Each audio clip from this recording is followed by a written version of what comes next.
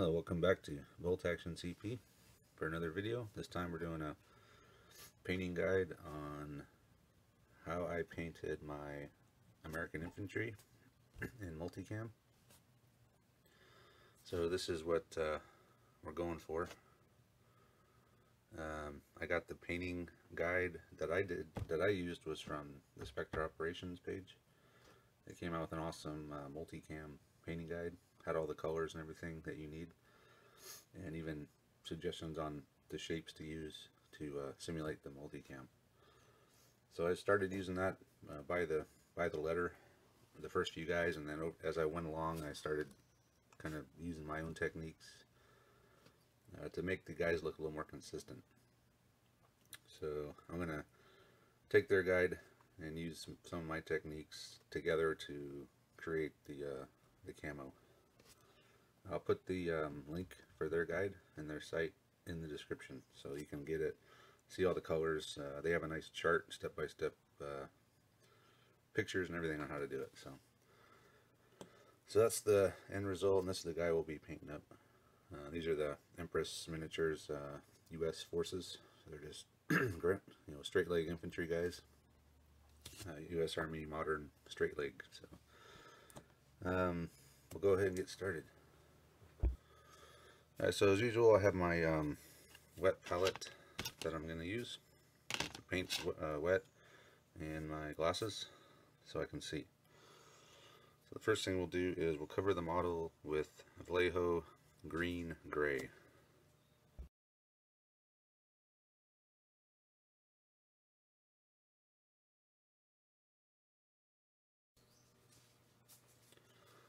Okay, now that base coat is done, the green gray, so now I'm going to start putting the camo on. Um, I would suggest using the colors exactly uh, as they're recommended in the in their painting guide.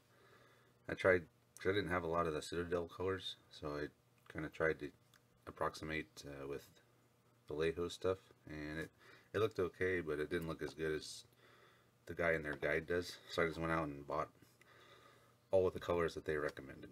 So and with everything else uh, it's better to use a thinner coat of course with more layers if you need. But I found even uh, one thinner coat with some of these is fine. Because you don't want it to be too stark you want it to kind of all blend together. So uh, the next color we'll use is Straken Green. So this will be for the, uh, the next layer up which is a green uh, green layer, even more green than the green gray. So the more the more of this you put on, the greener overall the whole model will be. These guys are kind of supposed to be for Afghanistan, Iraq, uh, sand countries. So as I've been going, I've been putting less and less of this on. The very first guy I put quite a bit on and he looked pretty darn green. So I've been reducing the amount of Straken green I've been using lately and increasing the brown color which we'll get to. So I'll go ahead and do the Straken green and I'm just going to do bands uh, irregular shaped bands that kind of wrap around um, the limbs and such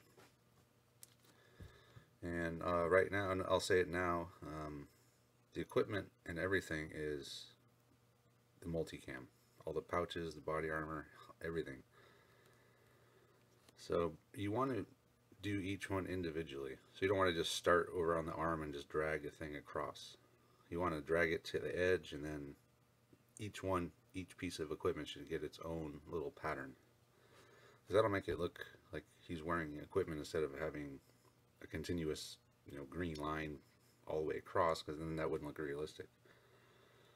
Because each one is its own piece of equipment with its own pattern on it so every little pouch the body armor has to you have to do the multicam on its own on each one of these. So that was the main thing I was going to say so I'll try to keep the banter down and just go through the colors now. So we'll start with the Straken green uh, layer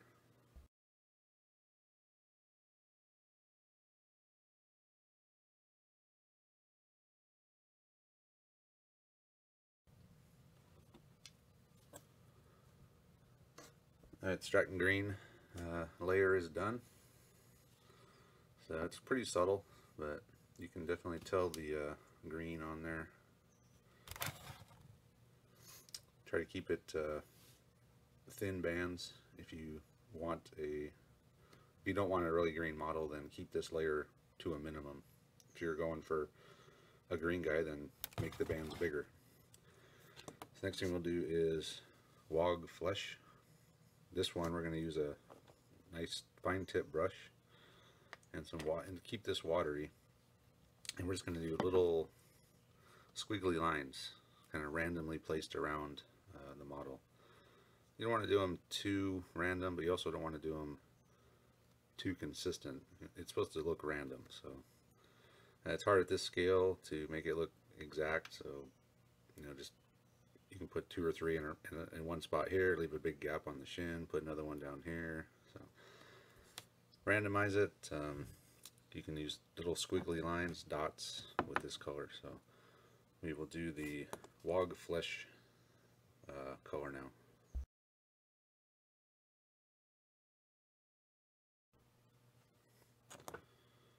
Finished the wog flesh portion of the model. As you can see there's green stripes on it. I didn't do too many of these. I said I want them, I want these guys to be more brown. So I kept it to a minimum. Um, it's hard to say how much to put on. It's really just up to you how dense you want the pattern to be. I, I like to keep it kind of open some spots because after looking at the actual pattern there are some big areas of the base color that show through. So I've been trying to increase that a little bit as I go but by the time you get done with all the layers it can be hard to maintain open spaces of uh, the green gray underneath. So next will be the brown color. So this will be determine how brown the model is going to be. So I like to put quite a bit of this on. This is German Camo Pale Brown. It's hard to read. I've had this bottle forever. Um, so this one, in the guide, they say large sneaking areas that wrap around. So that's what I've been doing. I've been pretty much making one long line that just wraps around and connects over here. Um, maybe a couple of them I'll, I'll let end just out in the open, but normally I just kind of try to go in between the Straken green and the uh, green gray. But I will overlap the uh, green as well. If I see a spot that looks like it has too much. That's another thing this brown color is good for. If you make a mistake or you make a line uh, too big or, a, or something's not watered down enough like this one here is kind of dark you can go over it with the brown to cover up the mistakes. You can go all the way, you can even do that at the very end if you see something you don't like. Um, so we'll go ahead and start the German Camo Pale Brown.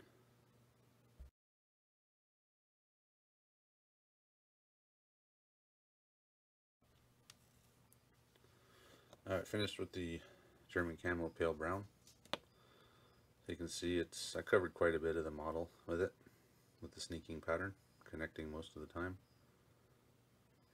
So the next thing we're going to do is a dark brown layer, and for that we use Dryad Bark. So the same deal as with the uh, wog flesh, get a fine tip brush and make little uh, squiggly lines, and make sure all these lines are always horizontal, uh, or a dot you don't want to have vertical lines of any of these except possibly the wog flesh you can get away with uh, some vertical but all the other little lines are going to be horizontal. So go ahead and do the uh, dryad bark and they suggest that you keep this to a minimum. This and the next step to a minimum because it if you have too much of it it can overpower everything else. So we'll get the dryad bark done.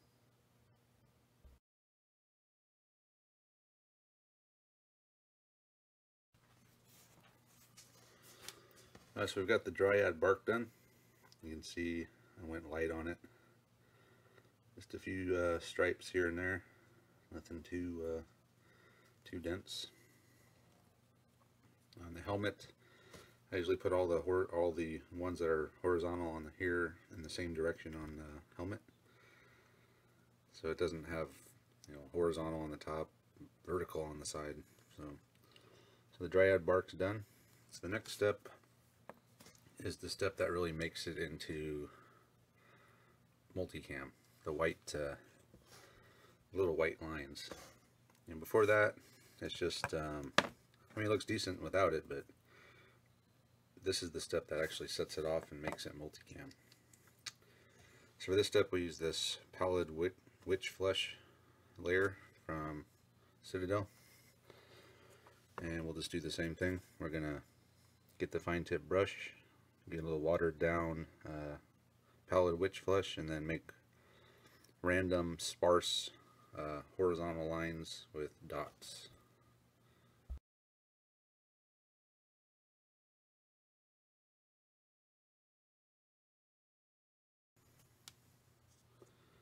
Okay, so finish the white. Uh, didn't go too crazy with it. You want to keep this uh, pretty uh, light as well, not too dense, otherwise it'll overwhelm everything else. So there is the multicam. So the last step for this, we're going to put a wash on it. This is the wash they suggest. Um, Athonian Camo Shade. This is a green wash. So what it'll do is it'll mute everything, all the hard edges, it'll soften everything up, kind of blend everything together. Now you could use different color washes. A brown wash maybe would make it more brown, but I'm going to go with, I'm going to stick with what they recommend, and I've had good luck with it. I'll go ahead and put the wash on, and we'll let that dry, and then we'll start with the rest of them, the weapon, boots, sunglasses, and skin. Uh, so the wash is uh, dry, well pretty much dry, dry enough for me to continue on. So you can see it kind of uh, toned everything down, blended everything together pretty well. There's a couple places I made little bits of mistakes, but it's fine. It's not gonna not gonna really stand out that much. So next thing I'm gonna do, I'm gonna just start doing the uh, details, so like boots, weapon, face, stuff like that. So for the boots, um, these guys have like a tan color boots, so I've been using just khaki. So I will paint the boots.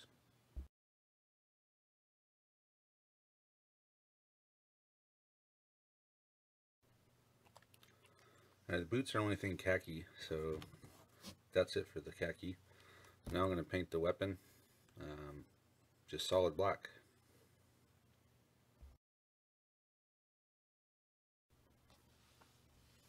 Alright, painted uh, weapon black and I did hit the uh, sunglasses frame black and that uh, little thing on the side of his helmet there. I don't know what that is. My uh, knowledge of military equipment stops at about 1995 so um, and I did paint the magazine with a neutral gray because usually the magazines are gray color not black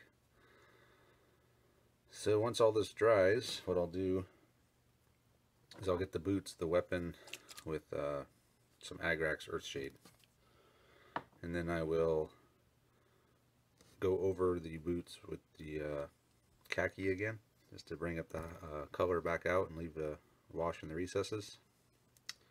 And then I'll go over the uh, magazine lightly with the neutral gray. And then for the weapon, to highlight that, I will use um, German gray. Just hit the high the high raised edges. Um, it adds a little bit of highlight to the black. And that's about it. So that'll be it for the guy, and then we'll move on to the skin.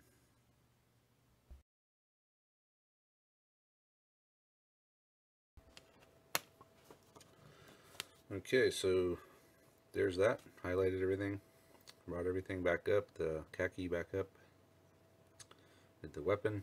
Um, so now we'll do the skin, which is the part I hate the most. I've kind of I've refined the way I'm doing it.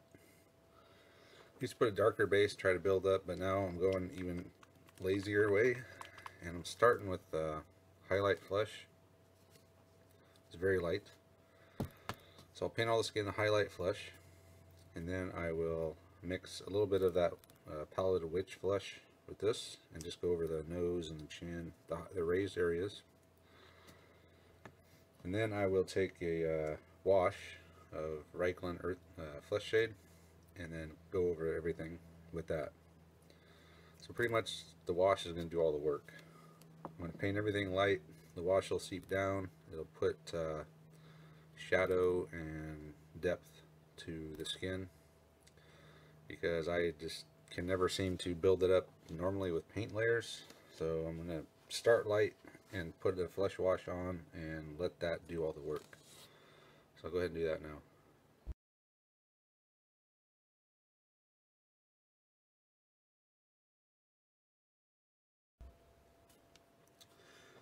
Alright, done with the painful part, the skin. So you can see it's not, uh, you know, perfect or professional, but it gets the job done. I suck at painting skin, so it is what it is. Um, next I'll do the glasses. For that I just use a blue. And I mix a little bit of white in with it. And then I kind of do the top half of the regular blue and then a little bit of white just along the bottom to make it look like it's reflective and then I'll get a, some of the red, uh, some red paint, any old red paint, and just put a dot inside the scope there. So I'll go ahead and do that now. Right, so there we go. Glass is done. Uh, we can't zoom in on the dude here, but glasses. I uh, got the little red dot in there, so he's pretty much done. That's the finished uh, finished model. So now I'm just going to do the base, and I just do a real simple base. Um, the other guys I did were all desert, but I'm trying to keep these guys more neutral. So like a just a brown colored base. So I can use them anywhere, uh, any kind of terrain. So for that I use a tan earth, and I just go over it with tan earth, and I put the Agrax on top and then I once that dries I go dry brush over it with the tan earth again. And then I take uh, uh, sand yellow I believe it is and just dry brush over that go around the edge. And then I dry brush a tiny bit of Iraqi sand over the top of everything just to lighten it up a little bit. And then I put a uh, dry grass tuft on it. So I will go ahead and get started uh, on the on the base. Alright, so we're finished. Um, here's the uh, completed model. Pretty simple really. These guys actually are paint up very fast because there's hard there's virtually no highlighting, no building colors back up uh, after the wash. There's no, I mean, there's webbing, but it's the same color as the uniform. So these guys are actually really fast to paint up. So there's the uh, Grenadier. And as usual, here's the rest of my force of Americans. Uh, the different colored bases are just some things I bought to differentiate um, different people in the squad. Like this guy here, aside from pointing, which is obvious, uh, all my sergeants point if I can.